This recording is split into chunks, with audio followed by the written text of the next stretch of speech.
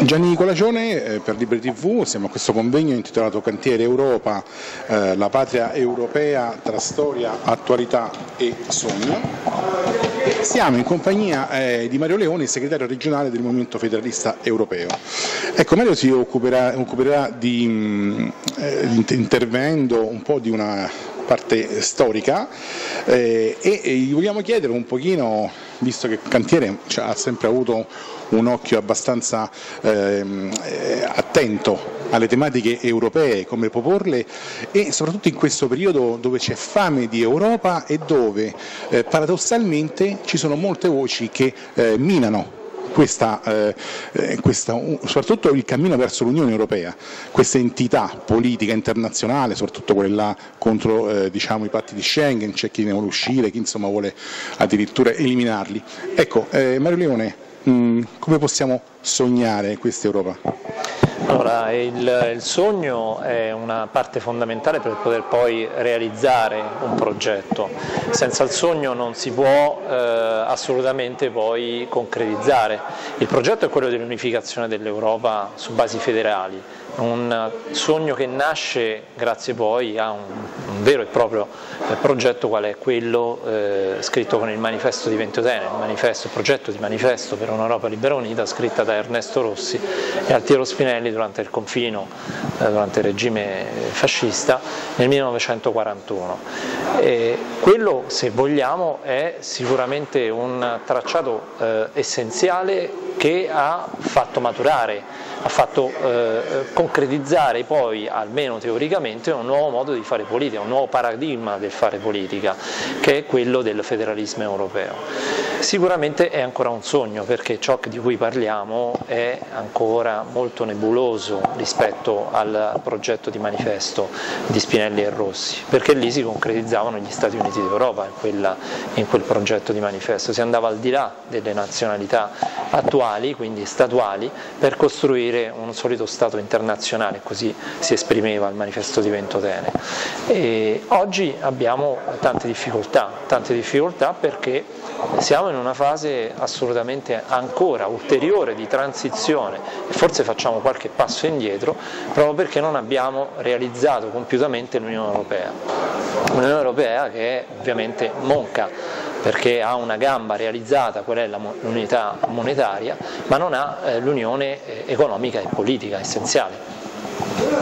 E Mario Leone, mm, io volevo chiederti anche un'altra cosa, mm, ovviamente siamo tutti d'accordo per l'allargamento diciamo, di, questa, di, questo soggetto politico per un'unione politica ovviamente più forte, che, oltre a quella diciamo, monetaria, però ecco io volevo chiederti, eh, secondo te eh,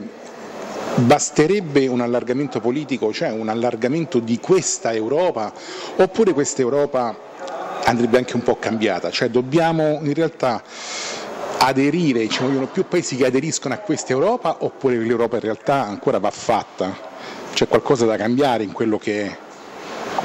Beh, c'è molto ancora da fare, non, stato, non vale il detto fatto fatta l'Europa, fatto il popolo europeo, anche Spinelli lo diceva che sarebbe stato sicuramente la costruzione eh, comunitaria il primo passo per realizzare il popolo europeo, ma ciò che manca è un vero concetto di cittadinanza europea nei fatti, non soltanto nei diritti, perché dal Trattato di Maastricht in avanti con l'articolo 3 abbiamo riconosciuto la cittadinanza europea, quindi ogni cittadino eh, di uno Stato dell'Unione è anche cittadino europeo, ma ciò non basta per fare il cittadino europeo realmente. Ma la struttura burocratica pratica attualmente ritieni che sia, eh, sarebbe efficace a questo allargamento, sarebbe opportuna, diciamo, mm, sarebbe anche di una certa elasticità, perché poi ovviamente bisognerebbe anche far entrare nuovi popoli, nuove etnie, ecco, oppure è un po' sclerotizzata? Allora, noi abbiamo avuto una unione a 6 dai trattati del 57 fino prima, al primo allargamento,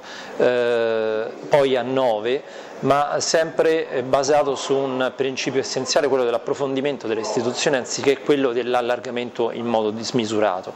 È ovvio che non si può continuare ad allargare l'Unione se prima non si fa un vero e, e, però una vera e propria cessione della sovranità nazionale a un'entità sovranazionale. Quindi bisogna che vengano riscritte le competenze, quindi applicato in toto il principio di sussidiarietà, allora soltanto con delle istituzioni democratiche, cioè quindi avendo non solo una Banca Centrale Europea, ma avendo anche un Parlamento europeo legislativo e un vero governo dell'Unione quale quello che proponiamo essere la Commissione futura, cioè la trasformazione in un vero governo dell'Unione, allora con una politica estera comune e quindi soltanto allora si potrà ulteriormente pensare eh, di dare ingresso ad altri paesi. Mh, mm, pensiamo sempre che per quanto gli ultimi trattati, il trattato di Amsterdam e il trattato di Lisbona, abbiano eh, smussato alcuni, eh, eh, alcune procedure a livello di votazione nella, in ambito di eh, Consiglio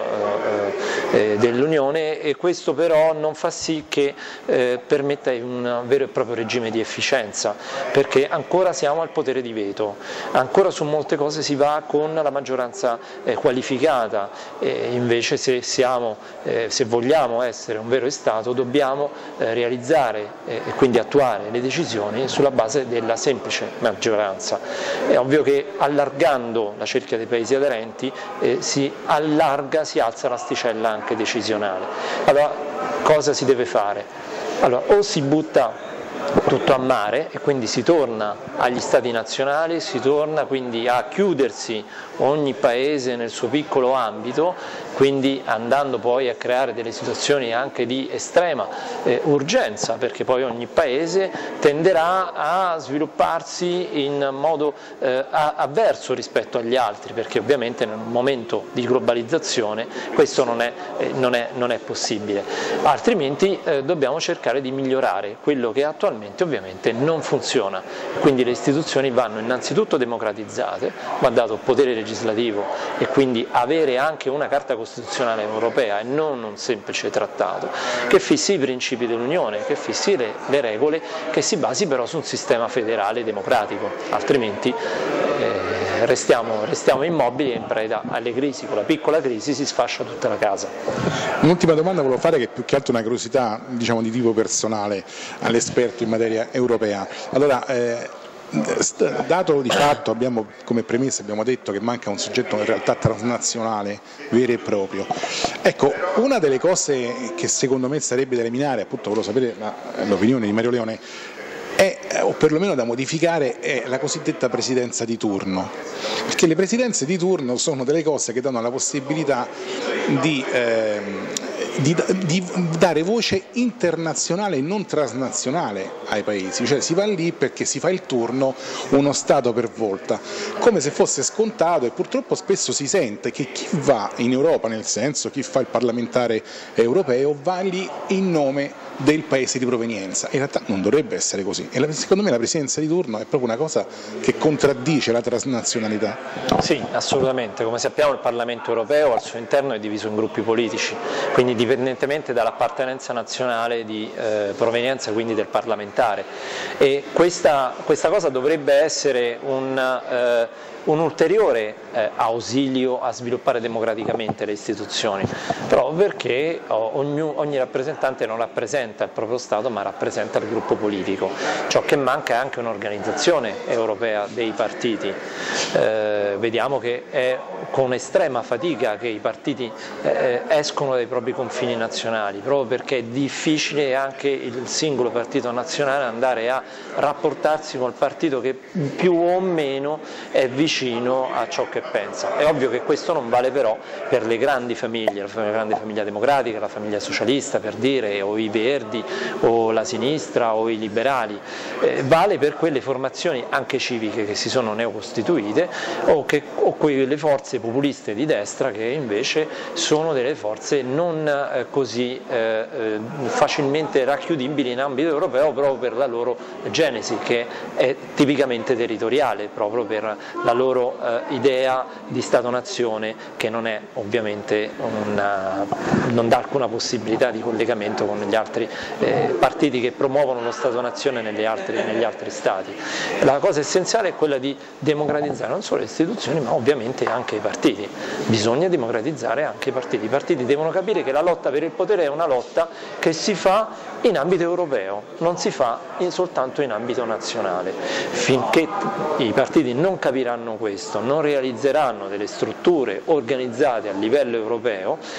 questo non sarà possibile e lo stesso discorso può valere anche quando parliamo di Commissione europea. Abbiamo fatto un piccolo passo in avanti con la Commissione Juncker, è stata la prima volta che ad elezioni europee poi si è anche andato ad indicare colui che poteva rivestire no, la, eh, la, carica poi di Presidente della Commissione, ciò che non era assolutamente, non sarebbe stato poi vincolante per gli Stati nazionali nella designazione, però è un piccolo passo in avanti e questo è servito a europeizzare un pochino l'attività in ambito eh, di campagna elettorale europeo.